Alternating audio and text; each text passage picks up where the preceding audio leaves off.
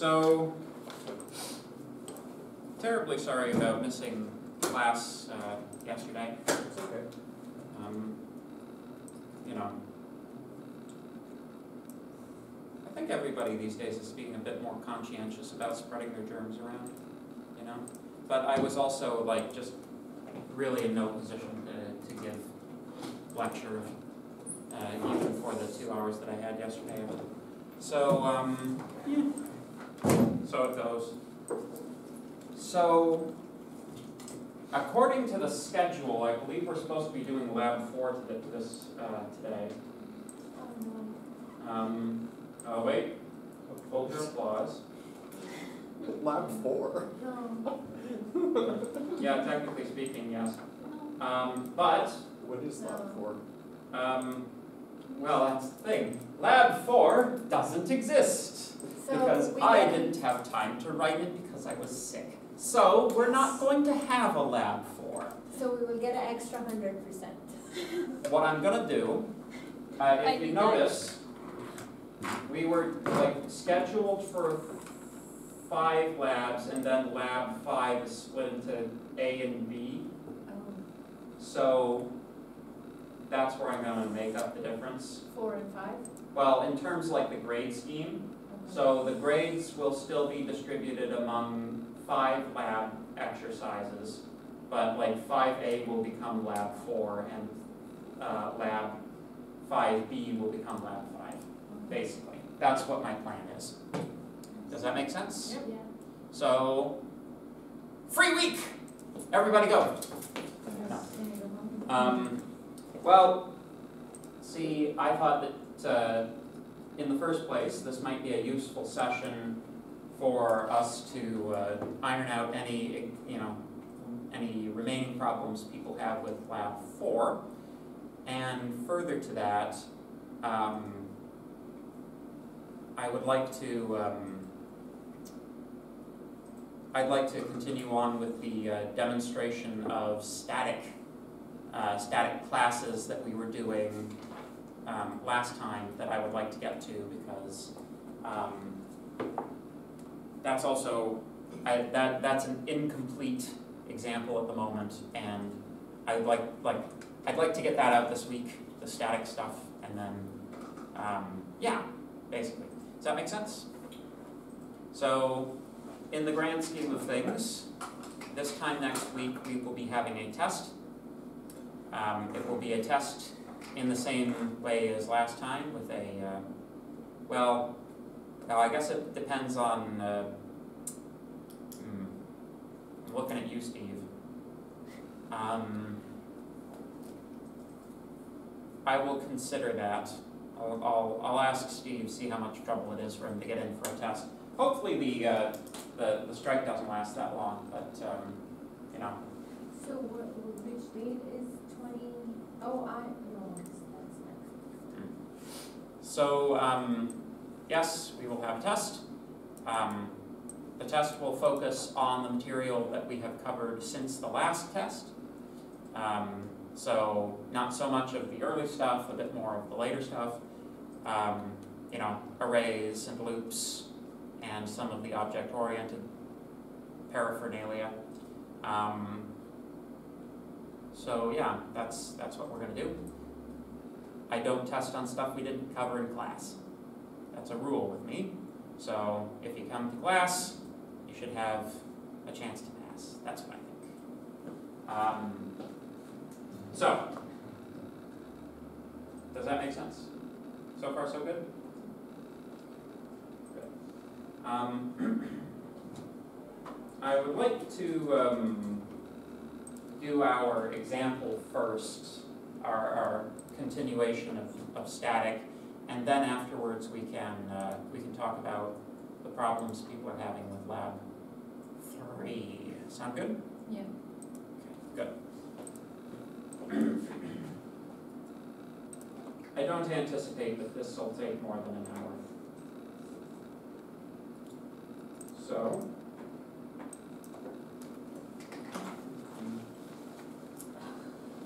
So let's load up our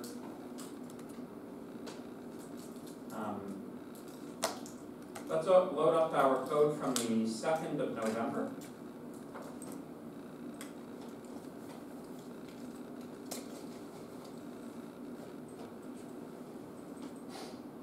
Into Unity. Download the archive. Open the folder. And extract all.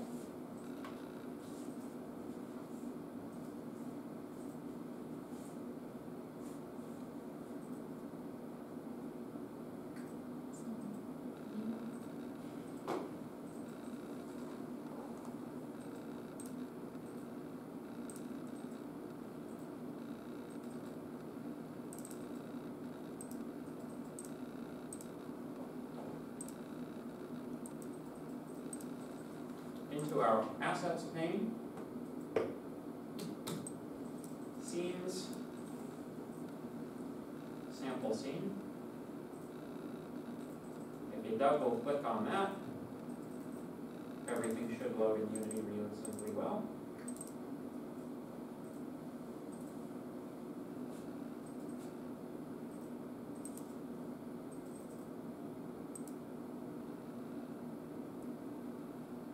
There we go.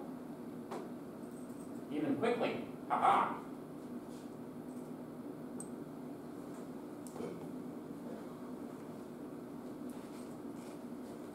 So, You got It's.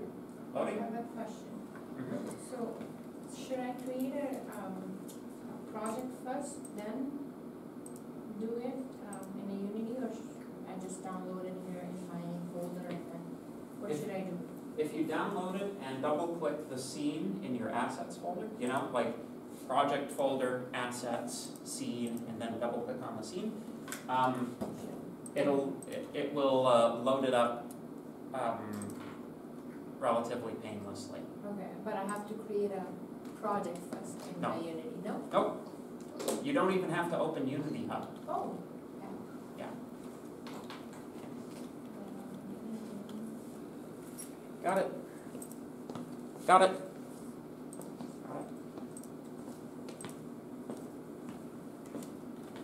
So.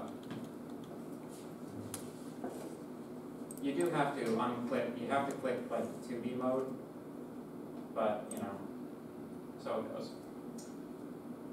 So.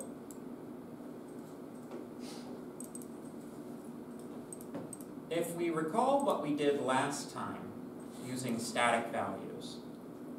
We added a uh, number of enemies remaining variable to our enemy class. Now, can anybody remind the class what a static variable is?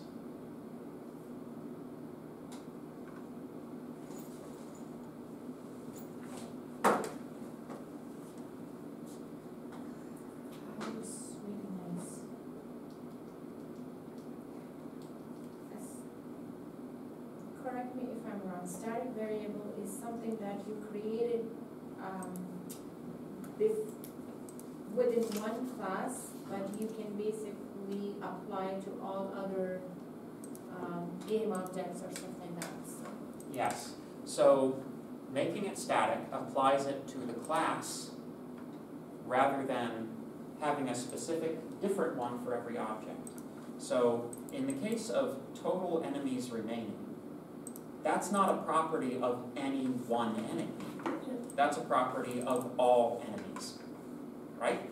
So that's another way to think about it.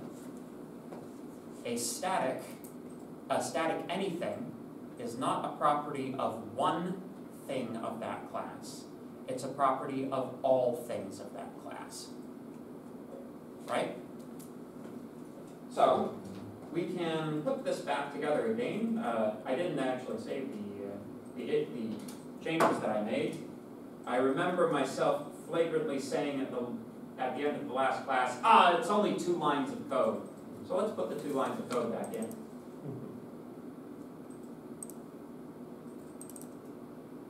Man, on Wednesday, it was terrible. I was like under three blankets and a house coat and like a winter hat, and I still was too cold, like my nose was freezing. It was terrible. cold outside that day, it was freezing, Yeah, freezing Yeah. rain.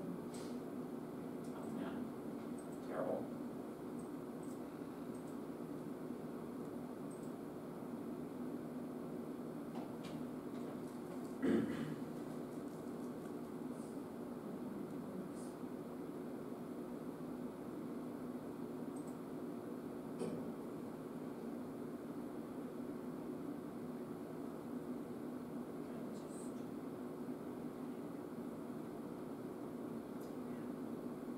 Worst enemy.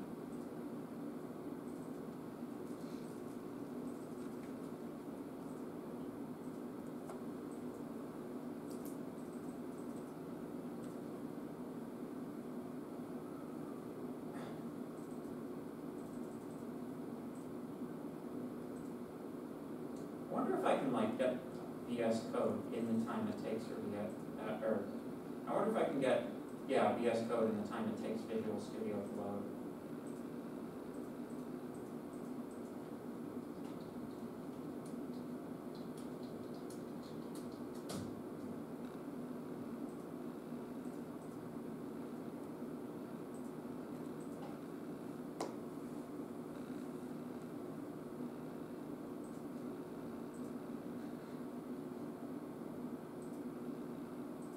Yes, yes, I can.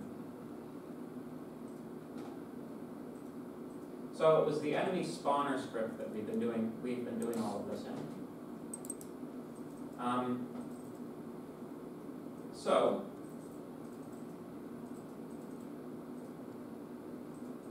Show in Explorer.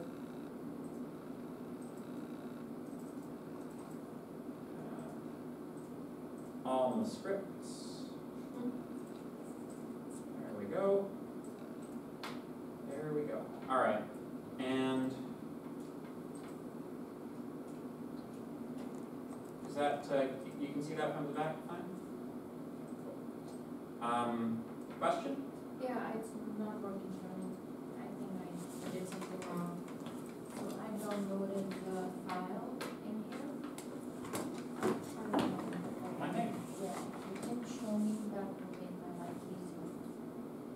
Well, oh, you put it in the, okay, where's the, um,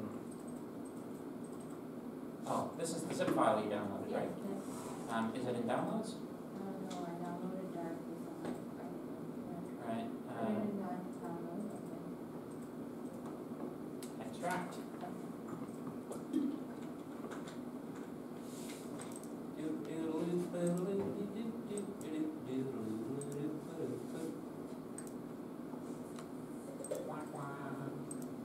So, folder, folder, folder, folder, double click, open. Oop. And Oh, okay, good. Thank you. you're welcome. So, um, Uh, do you wanna turn off the light, Professor? Yeah, I'm gonna play on. Just makes everything nice. Now that we have this lovely new screen. Um,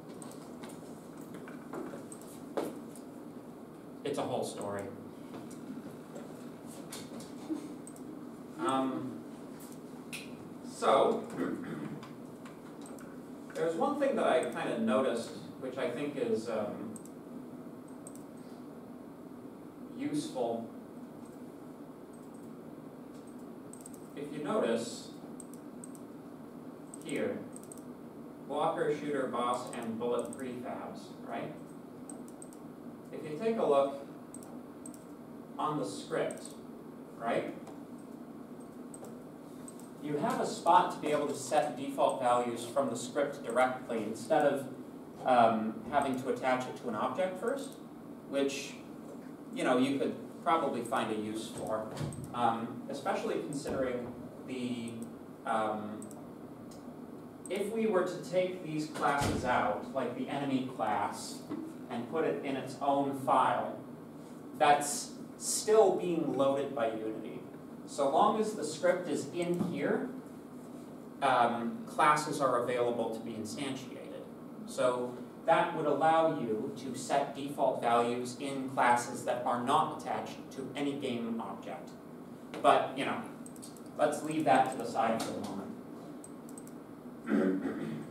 All right, yeah, you're still still loading, all right. I'm just gonna shut you down. Goodbye do not pass go, do not, do not collect $200. So,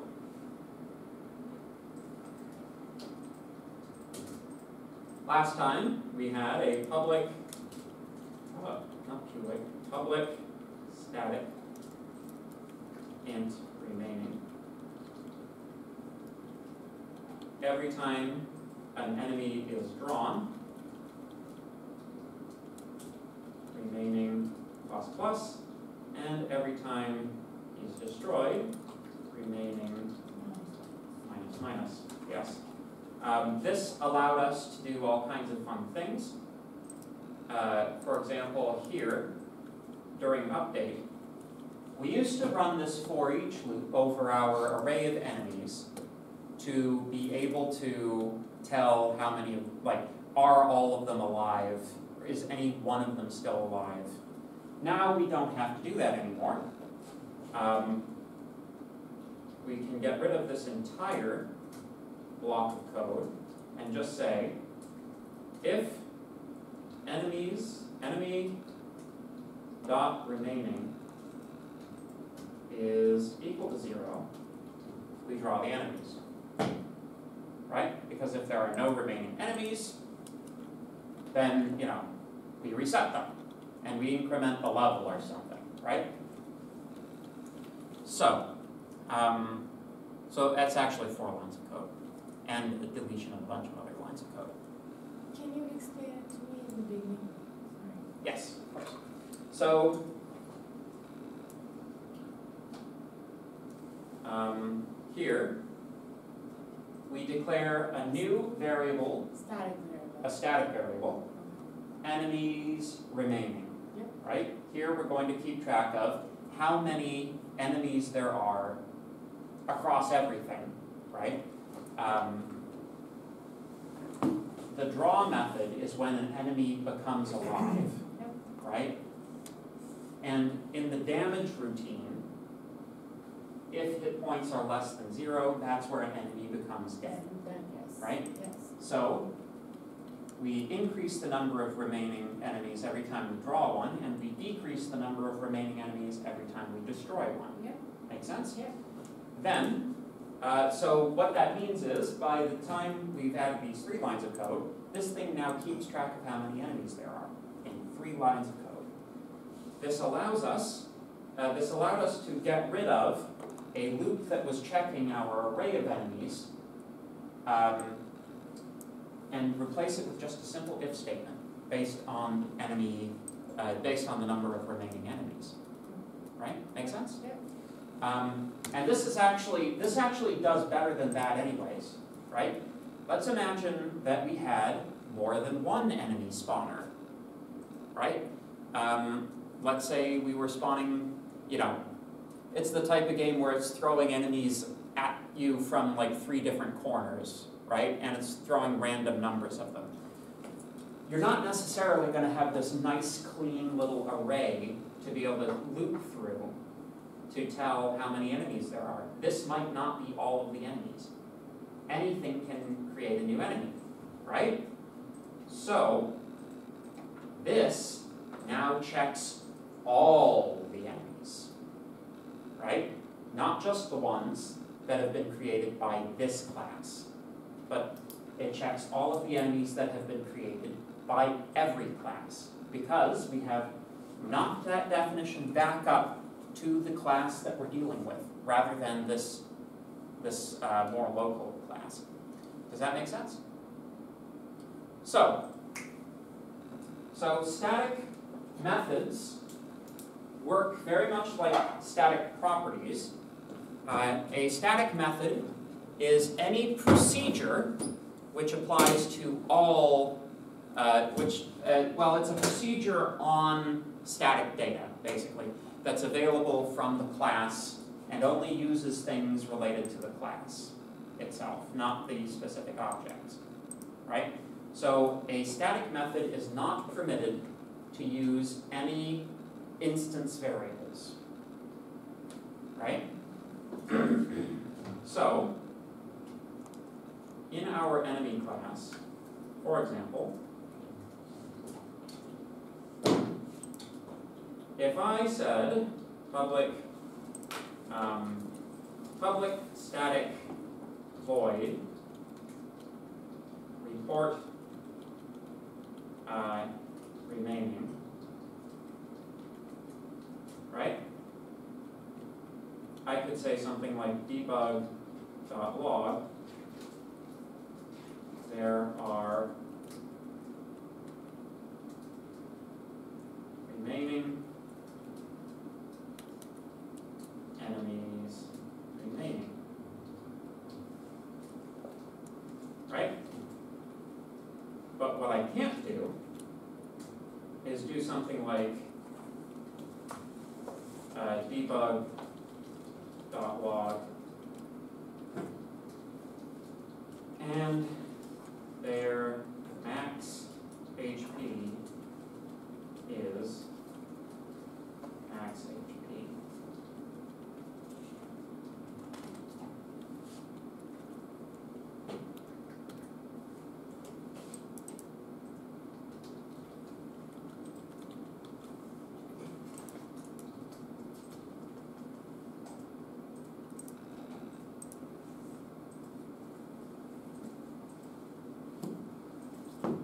Mhm. Now, this might be because I'm using um, VS Code instead of Visual Studio and the plugin doesn't work very well. But once we come back to Unity,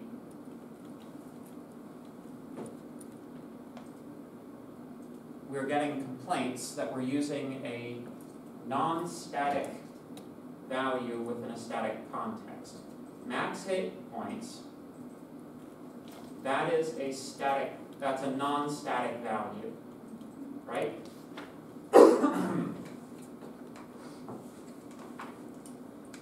One way to think about it, um, oh, I should probably initialize this to zero. There we go. One way to think about it, what's the max hit points of an enemy that has not been created? Zero. Are you sure? If enemy is not created, It depends on the enemy.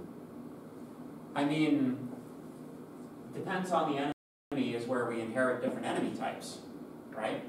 The max hit points of an enemy that hasn't been created is like, it's like a null.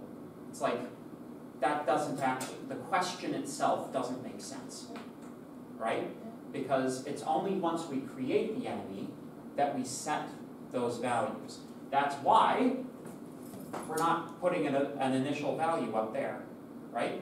Because we don't, like, we don't care to specify a default value.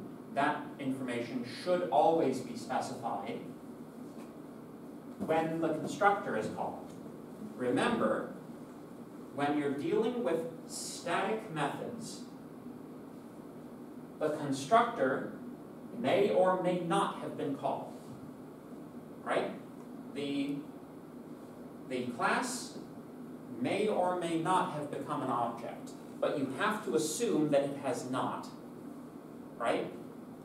So the fact is, max HP is not information that's available to a static method. It's just not there, right? It hasn't been created yet.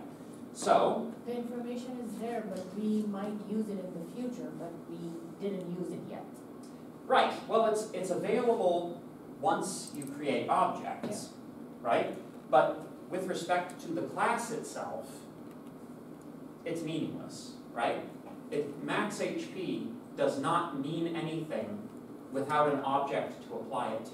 Whereas, something like enemies remaining, that does mean something, even if there are no objects to apply it to, because it's a property of all of the objects. Max HP is not a property of all of the objects, it's a property of each specific object. Does that make sense? Yep. Okay. Um, so, once you have a static, uh, once you have a static method, that can be called from any context. It's very flexible that way. So, for example, I think the I think what I did last time in class um, whenever we, uh, whenever a bullet hits something, enemy dot report remaining. There we go. Oh. Oh, yeah. Um, sorry, that was just a little error on my part. Um, this is a reference to the currently instantiated object. Because this is a static method, there is no currently instantiated object, so you don't use the this keyword. Doesn't make sense. All right. Yep, there we go. Everything makes sense if you understand how everything's put together. So, if I shoot, you can see, every time I shoot, It's telling you how many. Precisely, it's it's invoking that static method. But you'll notice that I didn't need a reference to any objects. um, I didn't need a reference to any, any enemy object to be able to call that. All I needed was the name of the class, right? Make sense? So in our lab three, so our class was house, village, and um, township. So if we use the static method to apply one of the class, we can basically, and um, think about this, if we wanna destroy one of the village. Are you destroying villages? No, or, or maybe creating a village, Yes. so then if the one vi- village is created and we use the static method, so it would tell us like, you know, one village is created, and when the second village is created, it will tell us the second village is created without basically. Okay. You could use it that way, yeah. You could have the village class report how many villages Created, are created. But getting the village class to like trigger something on that is a little trickier, right? Um, they hold information, but you should think of them as being passive.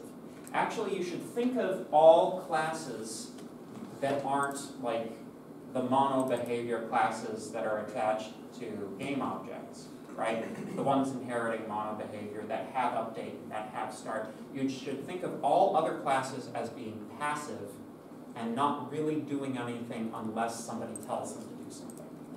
Right? Make sense? Yeah. Good. So, now, um, let's move on to static classes. So a static class is one that contains only static members, um, or static variables and static methods, right?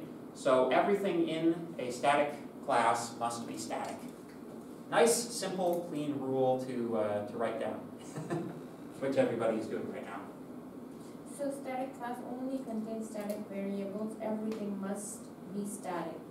Correct. And, and you cannot instantiate of statics or something like that? Correct, yeah. Yeah, so um, you're actually prevented from doing so by the compiler.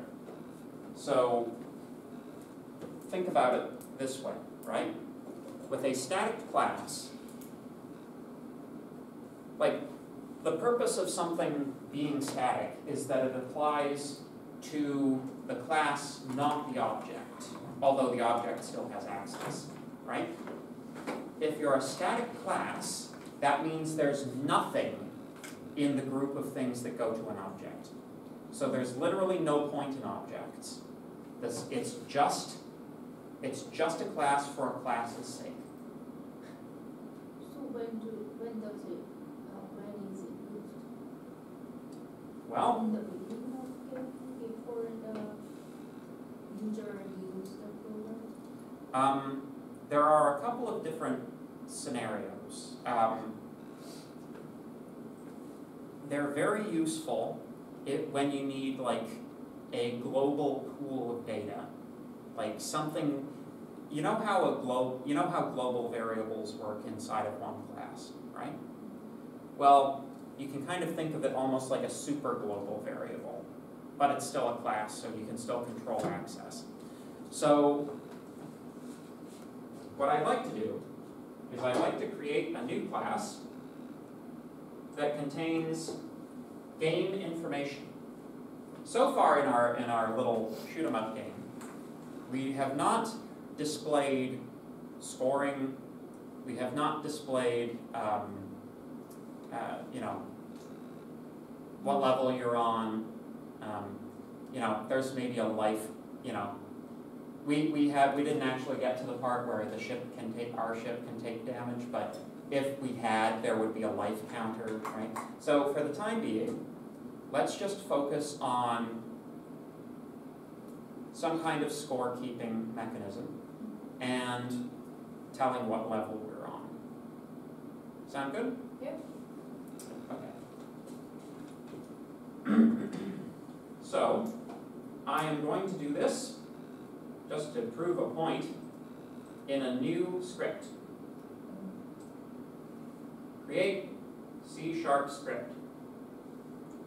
This is different from the usual way that we create C sharp scripts. Yep. Normally, we create them attached to an object. Yep. But in this case, we don't want to attach this script, this C sharp script to an object. Right? It's a static, it's going to be a static class. It's not going to be instantiatable anyways, so we're just going to plunk it right there in our assets folder.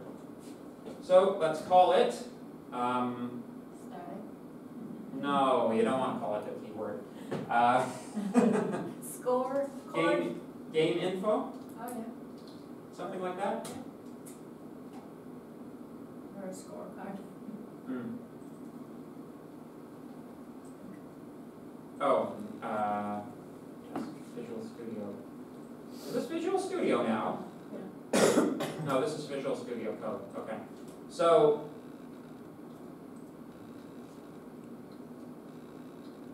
In a couple of things. So we're now kind of past the point we have ascended and transcended Unity starter code.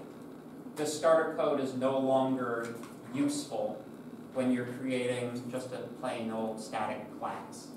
So first of all, there's no need for us to inherit from mono behavior. We do not want a start method, we do not want an update method. All we want is somewhere to keep some data. So we don't need start and update. Second, the class is static. So public static class game info.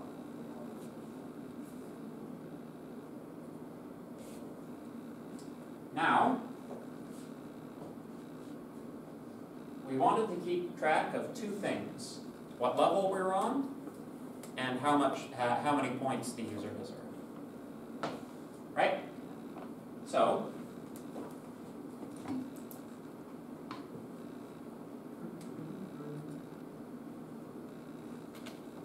public static integer score and public static integer level.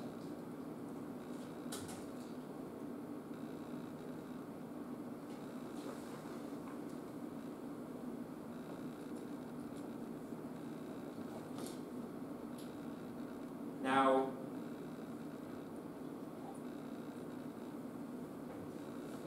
there are many different ways we can approach things. Um,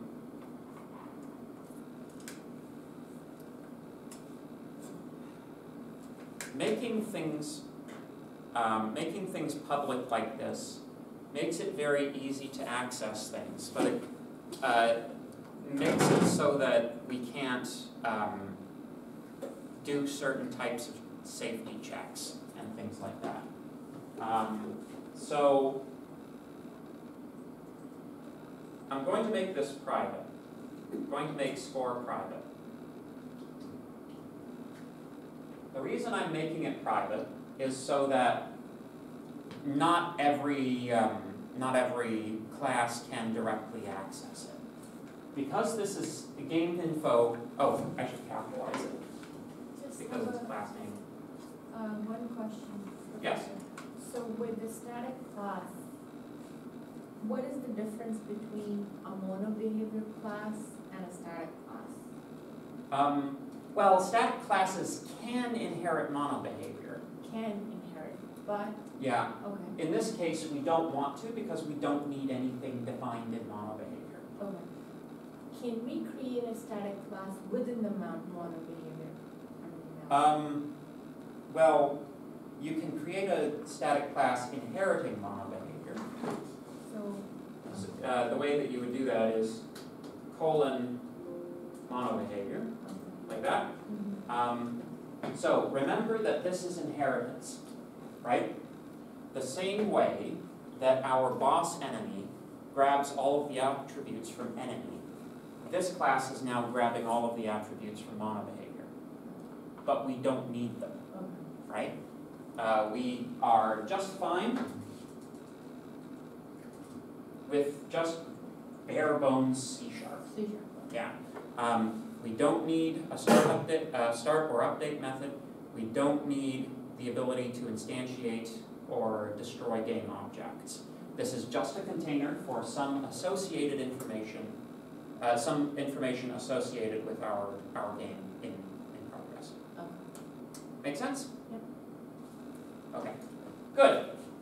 So, so I've made this private, which means that it must, uh, in order to access it, we must now access it through methods.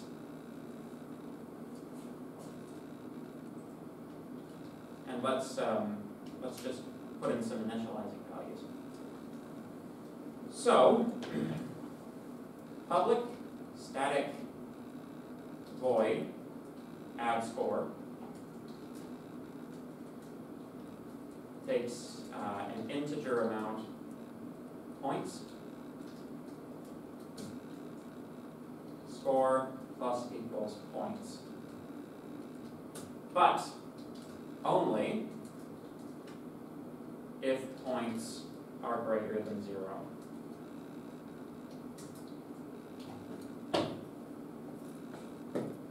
So, we haven't really talked too awful much about how programming on a team works, right? The sort of industrial reality of programming is that you will often be required to program on a team with other people, right?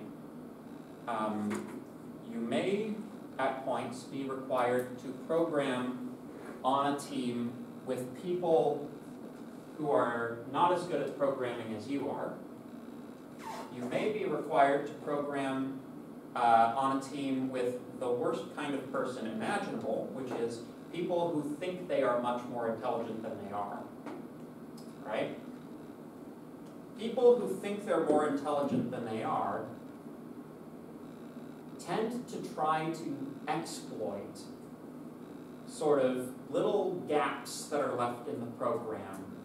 Like, for example, if I leave in the ability to decrease score, somebody might have a clever idea. Oh, well, on game over, why don't I just add score, but add a negative score that's all of the score that the person has, and that resets the score. It's like, well, yes, that would work, you know, that would look something like, you know, add score, game info dot, um, dot score. Uh, negative, sorry, add score, open brace, negative sign, game info dot score.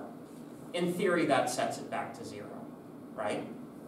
But if that's the kind of feature you want, you should have public static void reset, right? You should have a reset that does everything that you want to do, right? Score is equal to zero, level is equal to one, right?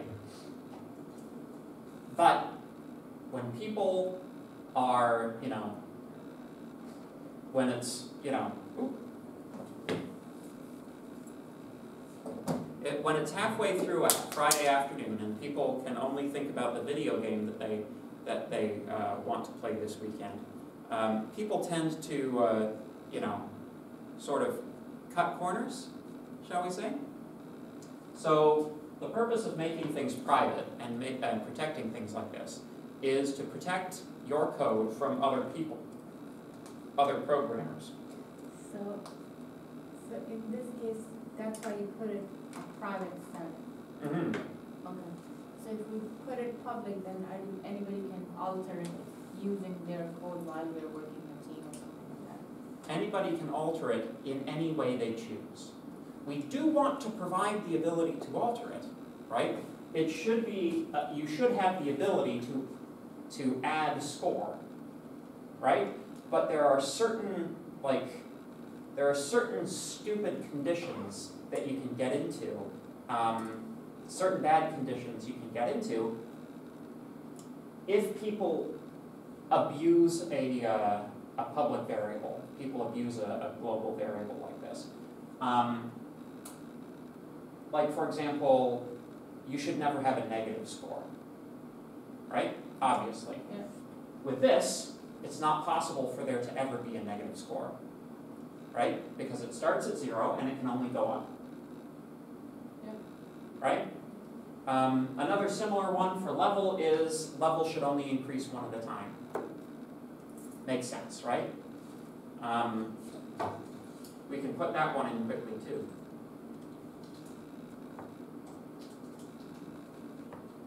Public static void increase level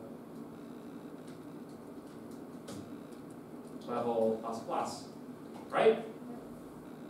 Now, once you've done that, private locks down both read and write privileges, right? So you need some way to read these valuable, these, these variables once you've made them private, right? So, very simple. You just write another method which only returns the value. Note that we're not writing to console, you know, we don't want to determine what it's being used for, right? Public, um, public static int get score return score. Public static int get level return level.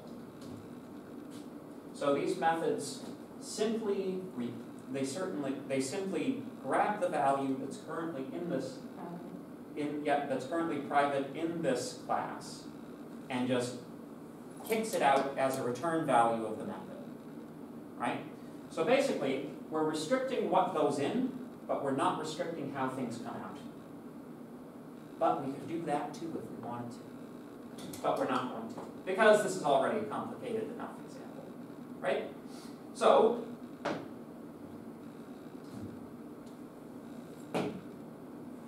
so now, the question then becomes, how do we use this information, right? And also, um, it would be nice to have a way to, uh, to, to report this information, right?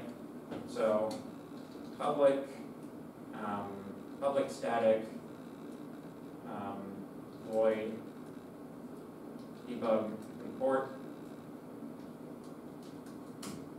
debug.log um, level level dash dash score and then the score right? So if you're doing object oriented programming like well and correctly, well, it's going to depend on the scenario, but if you're doing object-oriented well, you'll end up with lots of methods that are short, right? Each one of these things is like, at most, three lines long, two if you don't count curly braces, right? Short, tiny, short, short, short, tiny. Tiny little methods. But once you use them in combination, they're very powerful. Right? But like, all of you have written enough code at this point. Enemy is where we inherit different enemy types, right? The max hit points of an enemy that hasn't been created is like, it's like a null. It's like, that doesn't actually, the question itself doesn't make sense, right? Because it's only once we create the enemy that we set those values. That's why we're not putting an, an initial value up there, right? Because we don't, like, we don't care to specify a default value. That information should always be specified when the constructor is called. Remember, when you're dealing with static methods, the constructor may or may not have been called, right? The, the class may or may not have become an object, but you have to assume that it has not, right? So the fact is, max HP is not information that's available to a static method. It's just not there, right? It hasn't been created yet. So, The information is there, but we might use it in the future, but we didn't use it yet. right, well, it's, it's available once you create objects, right? But with respect to the class itself, it's meaningless, right? It, max HP does not mean anything without an object to apply it to. Whereas, something like enemies remaining, that does mean something, even if there are no objects to apply it to, because it's a property of all of the objects. Max HP is not a property of all of the objects, it's a property of each specific object. Does that make sense? Yep. Okay. Um, so, once you have a static, uh, once you have a static method, that can be called from any context. It's very flexible that way. So, for example, I think the I think what I did last time in class. Um, whenever we, uh, whenever a bullet hits something, enemy dot report remaining. There we go. Oh. Oh, yeah. um, sorry, that was just a little error on my part. Um, this is a reference to the currently instantiated object. Because this is a static method, there is no currently instantiated object, so you don't use the this keyword. Doesn't make sense. All right. Yep, there we go. Everything makes sense if you understand how everything's put together. So, if I shoot, you can see every time I shoot, It's a many left. Precisely, it's it's invoking that static method. But you'll notice that I didn't need a reference to any object um, I didn't need a reference to any, any enemy object to be able to call that. All I needed was the name of the class, right? Make sense? So in our lab three, so our class was house, village, and um, township. So if we use the static method to apply one of the class, we can basically, and um, think about this, if we want to destroy one of the village. or- Are you destroying villages? No, or, or maybe creating a village, Yes. so then if the one vi- village is created and we use the static method, so it would tell us like, you know, one village is created, and when the second village is created, it will tell us the second village is created without basically. Okay. You could use it that way, yeah. You could have the village class report how many villages Created, are created, but getting the village class to like trigger something on that is a little trickier, right? Um, they hold information, but you should think of them as being passive. Actually, you should think of all classes that aren't like the mono behavior classes that are attached to game objects, right? The ones inheriting mono behavior that have update, that have start. You should think of all other classes as being passive and not really doing anything unless somebody tells them to do something. Right? Make sense? Good. So, now, um, let's move on to static classes. So a static class is one that contains only static members, um, or static variables and static methods, right? So everything in a static class must be static. Nice, simple, clean rule to, uh, to write down, which everybody is doing right now. So static class only contains static variables, everything must be static. Correct.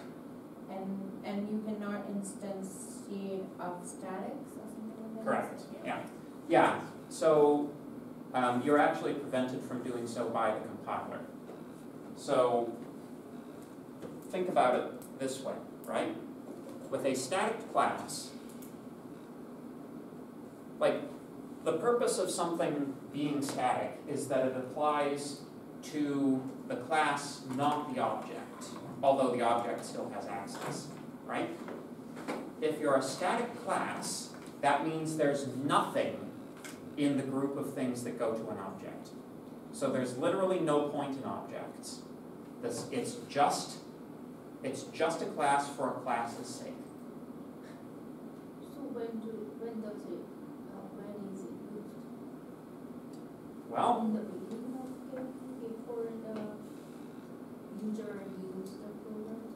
Um, there are a couple of different scenarios. Um, they're very useful it, when you need like a global pool of data, like something. You know how a glo- you know how global variables work inside of one class, right? Well, you can kind of think of it almost like a super global variable, but it's still a class, so you can still control access. So what I'd like to do is I'd like to create a new class that contains game information.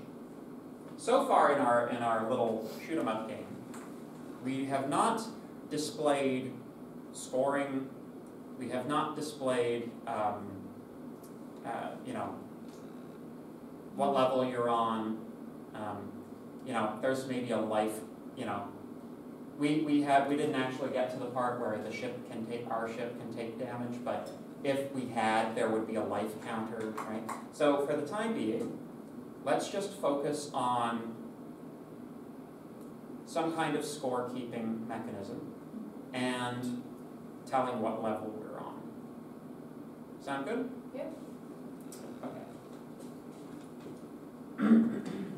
So, I am going to do this just to prove a point in a new script. Create C sharp script.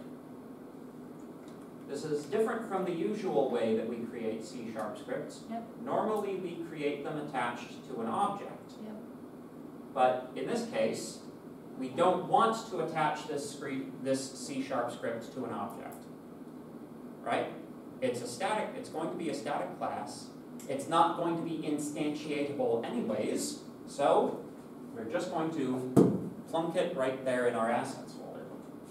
So let's call it, um, Static. no, you don't want to call it a keyword. Uh, Score, game, game info, Oh, yeah, something like that? or a scorecard. Hmm. Oh, uh, Visual Studio. Is this Visual Studio now? No, this is Visual Studio Code, okay. So.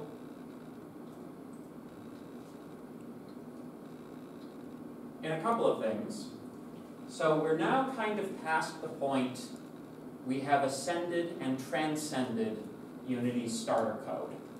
this starter code is no longer useful when you're creating just a plain old static class. So first of all, there's no need for us to inherit from mono behavior. We do not want a start method, we do not want an update method.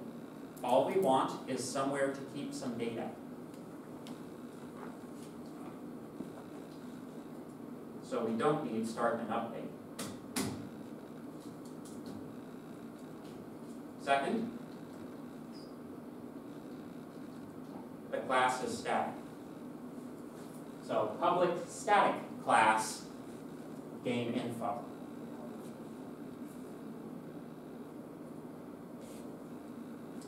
Now, we wanted to keep track of two things. What level we're on and how much, uh, how many points the user has earned. Right? So,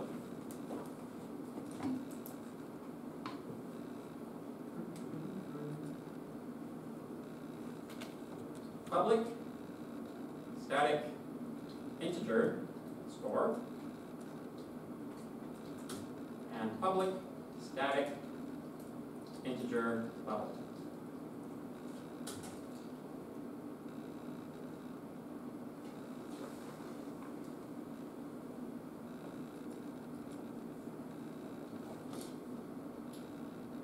Now,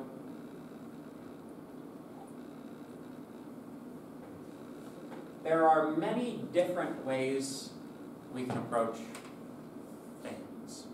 Um,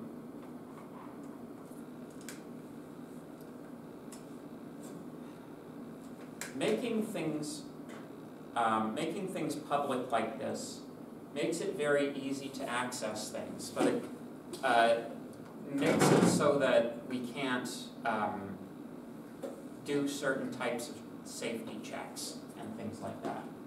Um, so I'm going to make this private.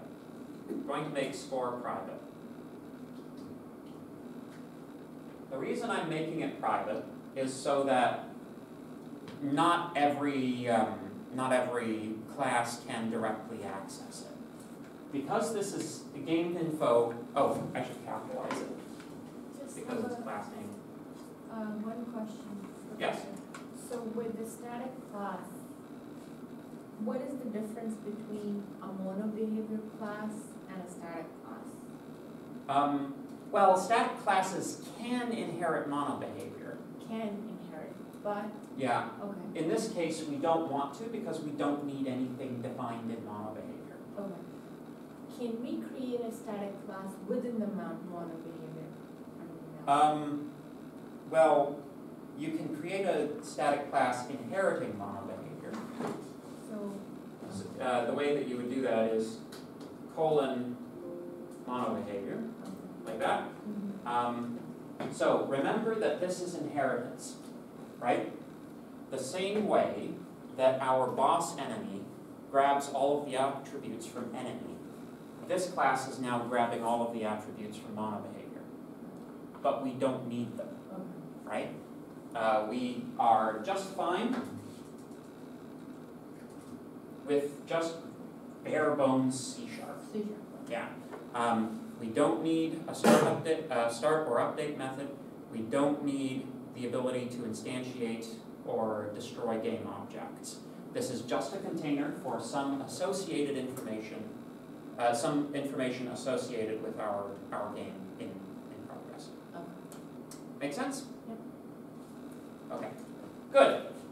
So, so I've made this private, which means that it must, uh, in order to access it, we must now access it through methods.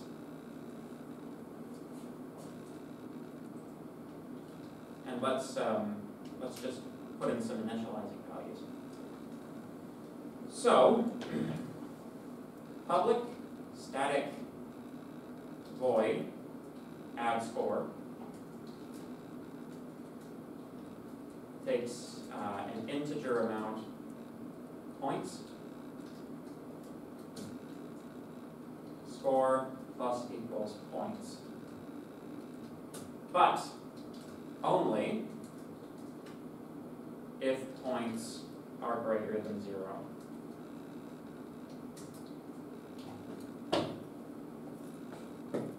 So, we haven't really talked too awful much about how programming on a team works, right? The sort of industrial reality of programming is that you will often be required to program on a team with other people, right? Um, you may, at points, be required to program on a team with people who are not as good at programming as you are. You may be required to program uh, on a team with the worst kind of person imaginable, which is people who think they are much more intelligent than they are. Right? People who think they're more intelligent than they are tend to try to exploit sort of little gaps that are left in the program. Like, for example, if I leave in the ability to decrease score, somebody might have a clever idea. Oh, well, on game over, why don't I just add score, but add a negative score that's all of the score that the person has, and that resets the score? It's like, well, yes, that would work. You know, that would look something like, you know, add score, game info dot, um, dot score. Uh, negative, sorry, add score, open brace, negative sign, game info dot score. In theory, that sets it back to zero, right? But if that's the kind of feature you want, you should have public static void reset, right? You should have a reset that does everything that you want to do, right? Score is equal to zero, level is equal to one, right? But when people are, you know, when it's, you know, it, when it's halfway through a Friday afternoon and people can only think about the video game that they that they uh, want to play this weekend, um, people tend to, uh, you know, sort of cut corners, shall we say? So the purpose of making things private and, and protecting things like this is to protect your code from other people, other programmers. So, so in this case, that's why you put it private static. Mm-hmm. Okay. So if we put it public, then I- anybody can alter it using their code while we're working in a team or something like that. Anybody can alter it in any way they choose. We do want to provide the ability to alter it, right? It should be, uh, you should have the ability to, to add score, right? But there are certain, like, there are certain stupid conditions that you can get into, um, certain bad conditions you can get into if people abuse a, uh, a public variable, people abuse a, a global variable like this.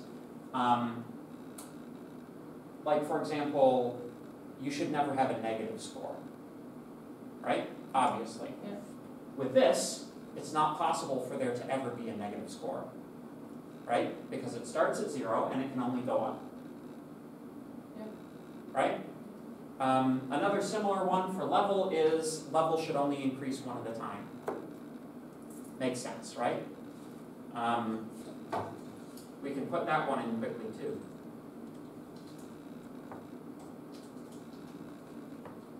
Public static void increase level level plus plus, right? Now, once you've done that, private locks down both read and write privileges. Right? So you need some way to read these valuable, these, these variables once you've made them private, right? So, very simple. You just write another method which only returns the value. Note that we're not writing to console, you know, we don't want to determine what it's being used for, right? Public, um,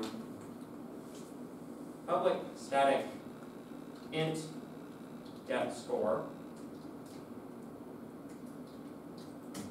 return score public static int get level return level. So these methods simply they certainly they simply grab the value that's currently in this in yeah, that's currently private in this class and just kicks it out as a return value of the method. Right? So basically, we're restricting what goes in, but we're not restricting how things come out. But we could do that too if we wanted to. But we're not going to, because this is already a complicated enough example. Right? So,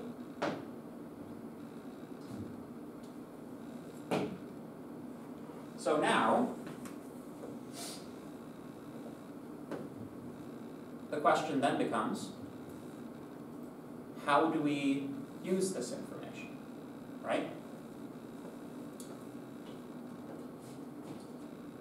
And also, um, it would be nice to have a way to, uh, to, to report this information, right?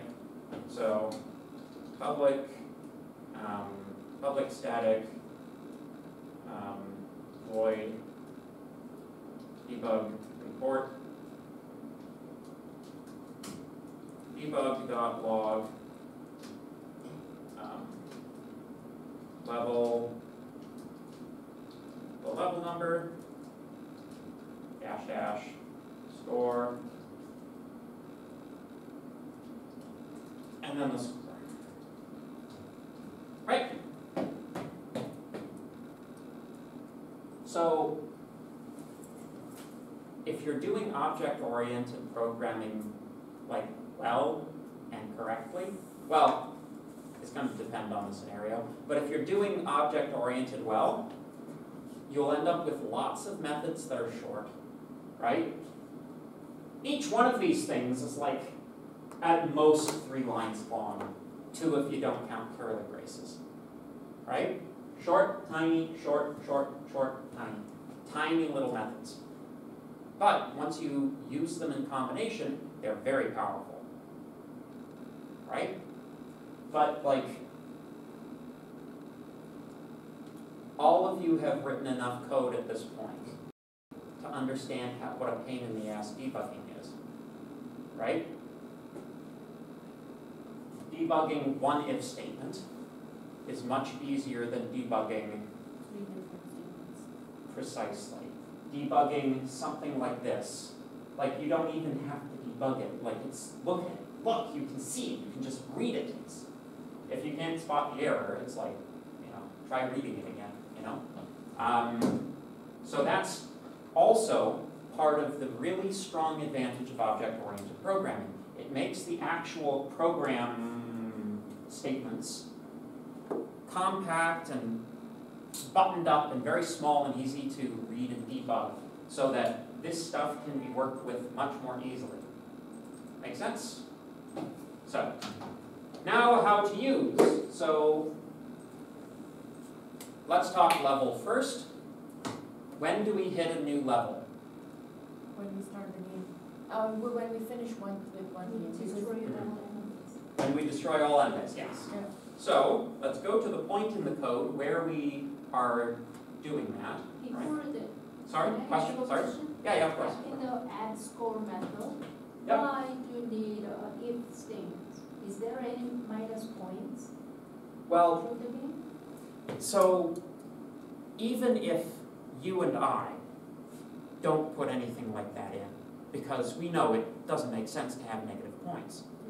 Um, um, Frederick the Terrible Programmer, who's been put up, assigned to the team doesn't necessarily know that, right? So when you're programming on a team, like you will have all kinds of assumptions and things that are true about the program in your brain, right? You will program in a particular way. Not everybody else is going to share those assumptions, right? So this is a way of enforcing your data policy. So the word I like to use for this is data policy. So you have a data policy, right? Because you said, well, I would never put something negative in there, right? That's a data policy, right?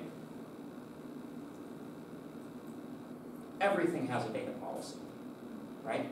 Um, it's rare that you don't have some assumptions about what the data going in looks like, right?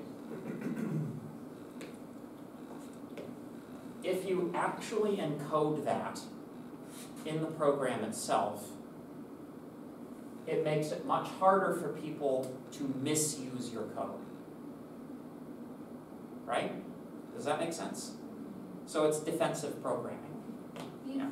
so then why did you use, uh, if statement in the in, increase, uh, level method? Well, Like, uh, if there's a remaining zero or something like that. I'm not taking any input, right? Oh. And this is only an increment operator. So it's always only going up by one, according to the method call. Now, We can do the same thing with the um, score method too, right? yeah, but, you know, if I, you know, If, if the Fre- Frederick is not in the situation, we can still do that, right? yeah, oh, you mean like use the increment operator? Yeah. Um, yeah, but like typically you wanna increase your points by like two or three hundred at a time, at a time, so like Oh, doing a method called a plus plus, like y- you could make it work, but it's easier to just pass the number in. Um, so yeah, um, now, this does not prevent someone from calling this like fifty times in a loop, right? There's only so much you can do to protect your program from misuse, right? And that's like, that's like kind of like a rule of humans generally, you know? Like, if you think about any, like, any form of security whatsoever, um, it's always only meant, like, you should always think of it as a series of increasingly strong deterrents, right? Because anybody who's sufficiently motivated can get through any security system ever devised, right? So long as they're sufficiently motivated and clever, right? Like locks on a house, right? Crowbar going through the window, right? Iron bars on the window, okay, can't go through the window unless you have an angle grinder, right? Like you, no matter what barriers you put in place, right? If somebody has the intention to misuse something, they, they will do it. What you're trying to guard against is unintentional stupidity, right? um, if you have a lock on your door, it is um, unlikely that someone who's drunk will come home to your house instead of theirs next door and, and find the door unlocked, walk in, and start eating things out of your out of your fridge, right? Um, so, yes, does all that make sense? I know this is like kind of esoteric and we're not really to that level. And like we're all only doing individual projects so it doesn't really make sense yet. But especially like the larger your project gets the more of these types of considerations you have to consider. Make sense? Yep. good. Um, at any rate i think this is quite readable. Don't you? Yeah. Um, so So let's go in, enemy spawner, our update method checks to see if there are any remaining enemies, game info dot incre increment level.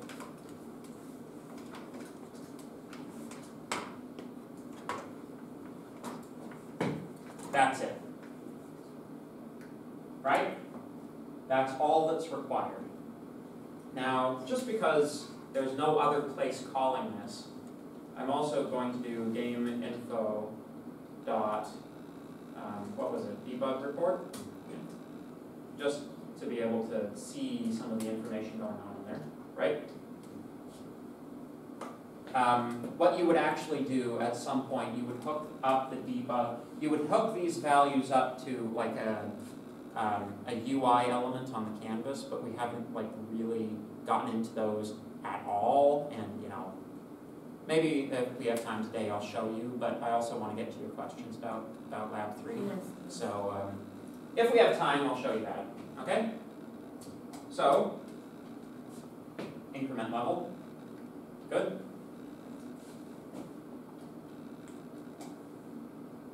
Now, for, uh, for score, in theory, there's a couple of different ways we could take this, right? Um, each of the enemies should be worth a different point value, Exactly. right? So either, like there, basically there's a basic way to do this and a slightly more advanced way that uses overloading. Um, Basically. Basic would be nice, yeah. Um, but I'll do the basic way and then I'll show you overloading. Because in theory, I should also show you overloading for like curriculum and stuff. So, um, going in here, also it gives us something to do inside of these guys, which are like mostly blank at the moment. Um, so in theory, every enemy should have a point value. Right? Now, should this be a static or a non-static member? This should be static. because Why? it- Because it's gonna apply to all, no, it's not gonna be, because it's not gonna apply to every, every individual is different, yes. Precisely. Yeah, it's not. Each individual uh, enemy will have a different, well, could potentially have a different point value. In reality, we'll have like three different point values, right? One for the three different classes of enemies, but that's sufficiently different that non-static property, right? So, when the enemy takes a sufficient amount of damage and is destroyed, we wish to add that point value to the score. So, game info dot uh, add score point value. And it's just that simple. Right? But here's the question. How do we get different point values for all of our different? We have to declare the value Where? in, in, in the draw method. In the draw method? No, it's, um, in the game object, basically. We have to create, the enemies. What line? um, What line are you talking about? so, in the public enemy game Ah, object method, in that's there. the constructor. Oh, in the Yes. constructor, yeah. In the constructor, yes, the constructor is where we set the initial values for all of the properties, all of the non-static properties in our system, in, in this class, right? So, it makes sense that the point value should be initialized there as well. But we have nothing to initialize it with. So, we add that to our list of arguments.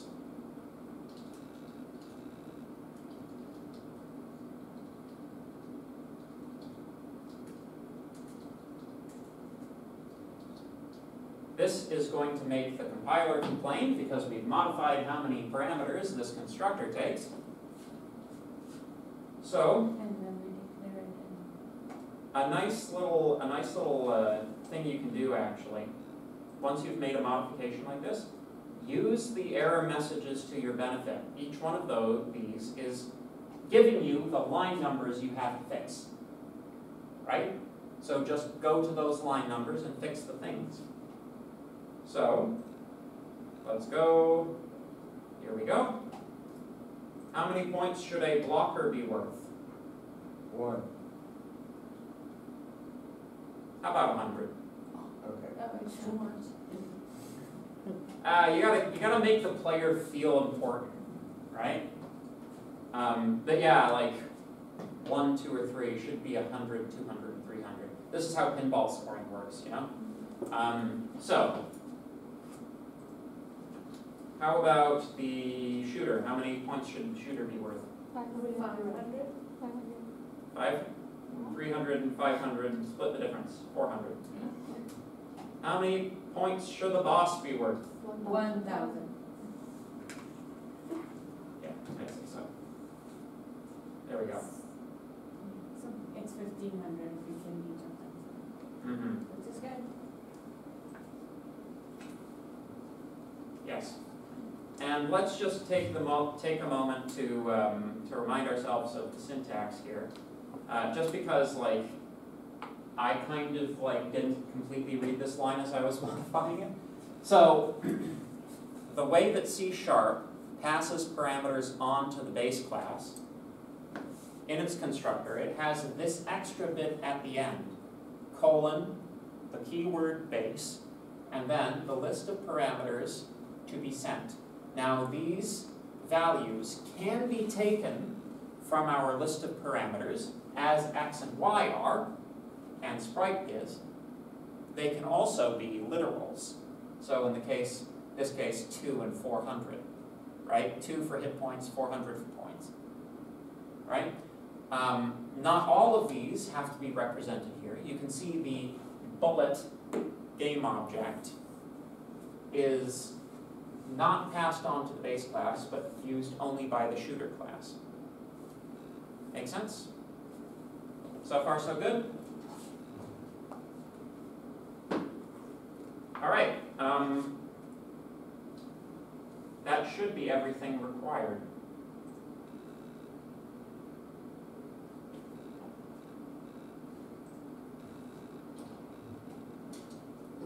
Now, I think I have to actually clear the screen to, uh,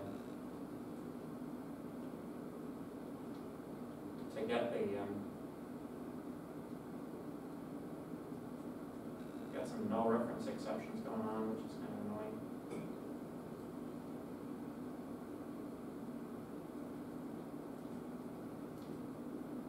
There we go. That nine thousand? Level two, score nine thousand. There we go. So everything is working.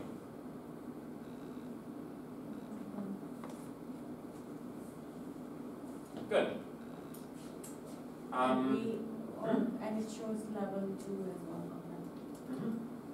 Now, I, it's probably not useful for me to beat the level a second time, but there you go. You know what I would do if I were actually making this game, is I would like wire up like a keyboard shortcut, I would say if input dot get key co- or key code, key code dot k, then kill all that's totally what I did. As long as you disable that in the release version, you're fine. Yeah. But give yourself a cheat code. Actually, that's the origin of most cheat codes in video games, It's like developer workarounds to try to get debugging times faster. Um, see if everything is working. mhm. Um, yes. So, there you go. Note that the game info class is accessible from everywhere, any class, all its methods, all its values. Um, yeah, make sense? Good. Um, cool. What time is it? It's, Three oh nine, okay.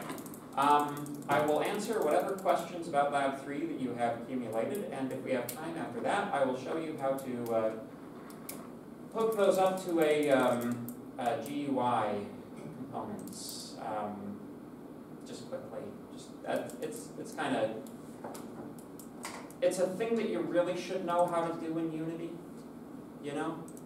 But, um, yeah. Good, all right, so who wants to start? Please. I'll turn this back on if I start talking again. You will upload it. So we're going to do a very brief, because we only got eight minutes left. Uh, I'm going to show you how GUI components work. Do you know what GUI stands for? Guided user interface. Uh, graphical user interface. Oh. Yeah. So Unity has two layers. It has the 3D layer, which is, you know, slash the 2D layer, like the game. Is that? It is recording, right? Should have a big red button on it. Yep, it's recording. Um, so Unity has like the part that we've been playing with so far. It also has what it calls the canvas layer, which is an overlay, right? It's a 2D overlay that goes over everything. You can create, uh, hmm, where is it? Here. Where? Oh man. Where did they hide it?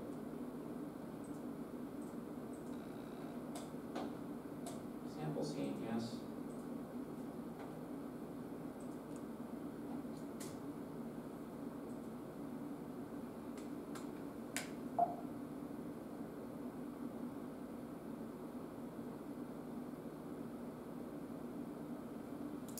Three D object.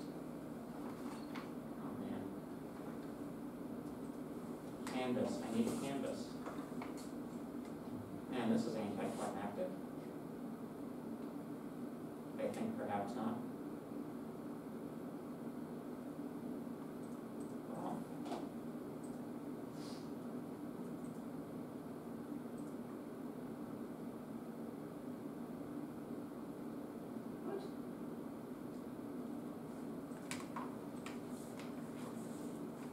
There we go, canvas.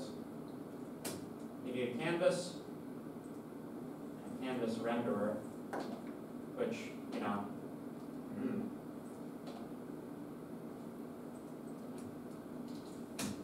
I don't like the fact I'm having to do this manually, but basically everything that's on the canvas has to be a uh, sub-object of the canvas.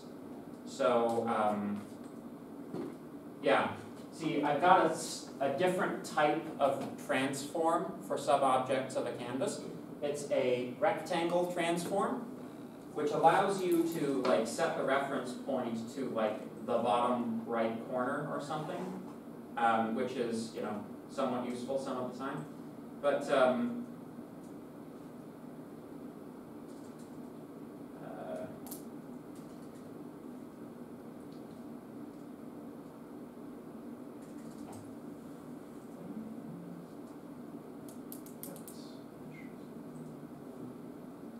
I don't, I forget, I, I forget where all the bloody stuff is. Oh, man.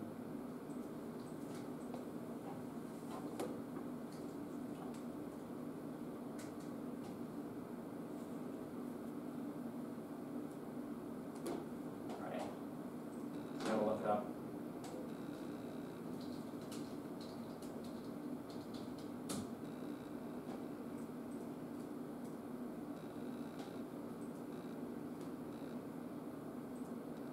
It's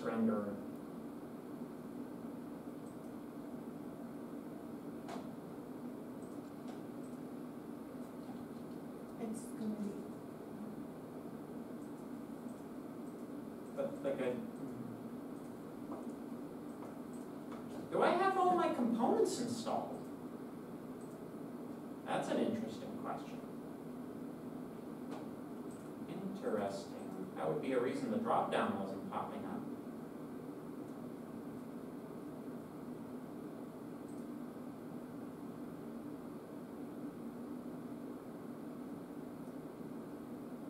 Hmm.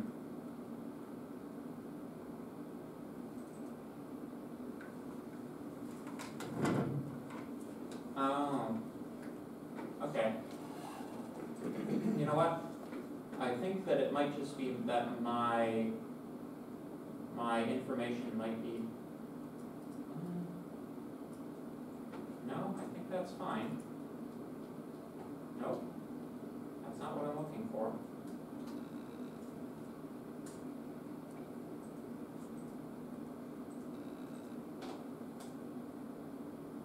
These are my canvas objects. Alright.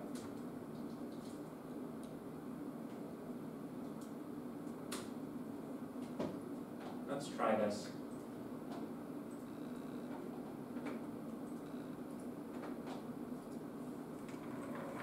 Professor wants just the code, right, not the entire. Wants a reflection in the assets in the zip folder.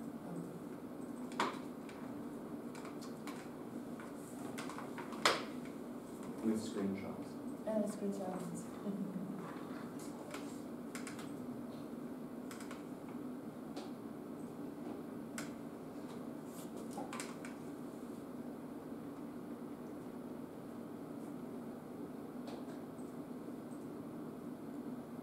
So this is the book for networking.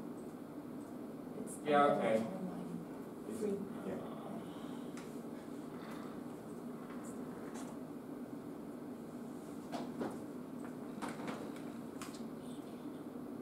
Joe. He said, call me or meet me. I didn't call. I think, I think it's been addressed.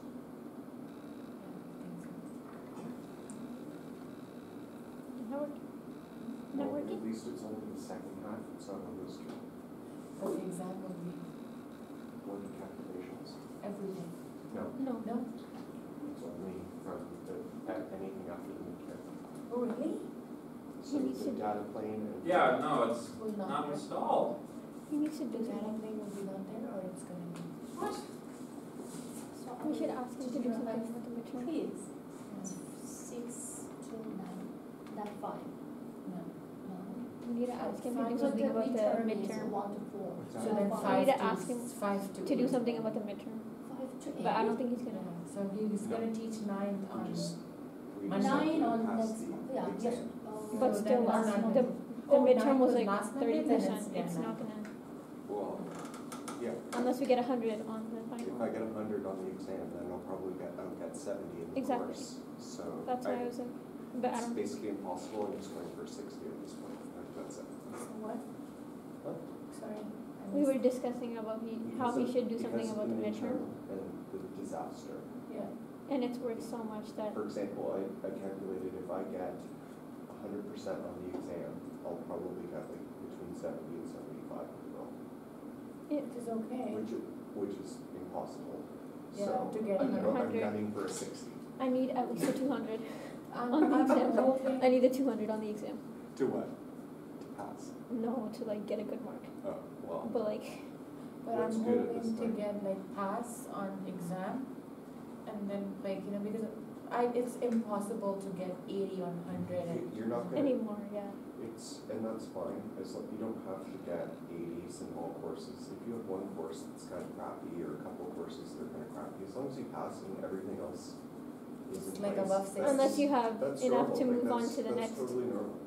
unless you have enough to move on to the next But semester or next thing year, is, whatever. the thing is, it should, it, like, you know, It all balances out. You're never gonna use it, you're never gonna take it again, so just get through it. That's what the conclusion is. The motto is, like when I, like I feel it. There like, they are. Sorry. No. I had to like custom install it, we're out of time in the class now. I had to go into the package manager and like get Unity UI. That's, that should be installed by default, I'm sorry. No. But there you go, there's the drop down that was missing that I wanted. So you install a canvas, right? As subcomponents of that canvas, you add, for example, um, an image, right? You can set that to a sprite. And basically, the way the Canvas works is like, it thinks that each unit is a pixel, which is why you get this huge expanded view in the editor. But like, you know, you can move this guy according to the rect transform, and gives slightly different, you know. If you do it like registering at the bottom point, you can set it so it's like, you know, forty pixels from one corner, forty pixels from the other corner, so that it's like nicely aligned at all times, no matter what the screen size is. Um, and if you play it, that image is forty pixels, forty pixels, regardless as to how you grow or shrink the screen, it is always at that correct point. Right? Does that make sense? Oh, okay. So that's, like, this is a layer over top, right? This is not, you can think of this like, the main camera has all the action. This is like a, this is like a sticker on the camera's lens, right? So, all that is fine. The other thing, uh, I know class is over, but if you wouldn't find, mind bearing with me for just a moment. Um, the other thing that you can do is, um, panel. Mm. There's like texts, text items as well.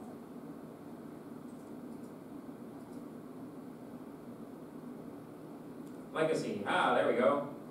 Text, input field, button, etc. They think it's legacy now. Oh man.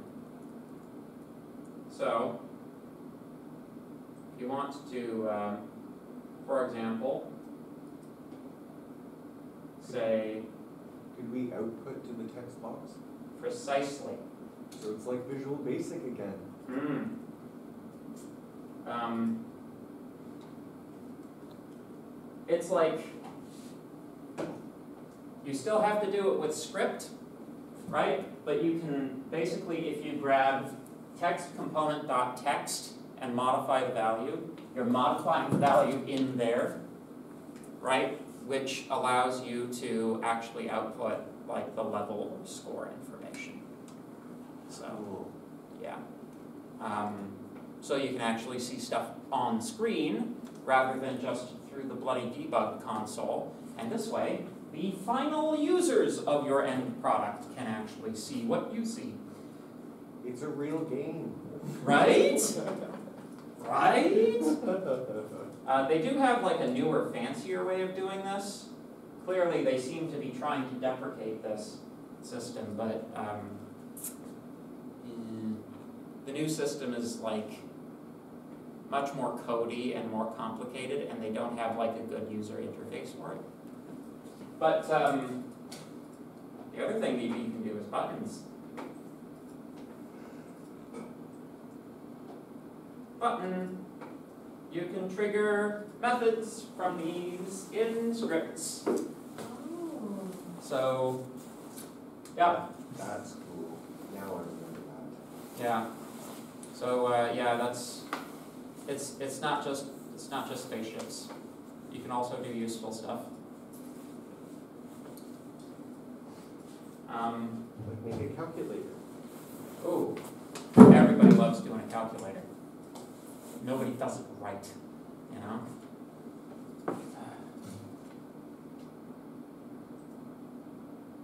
Nobody like goes to the level of like, how many registers does a calculator actually have?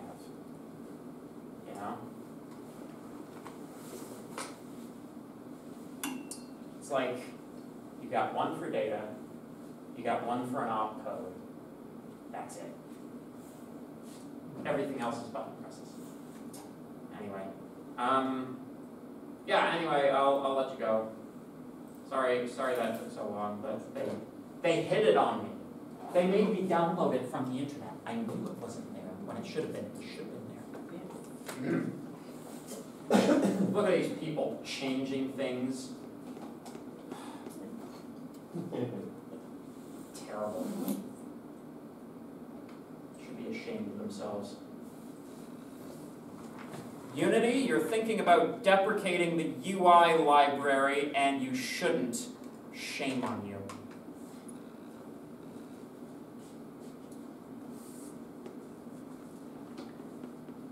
Alright. Professor, what is your YouTube channel? Oh, uh, yeah, let me, um, let me pull that up.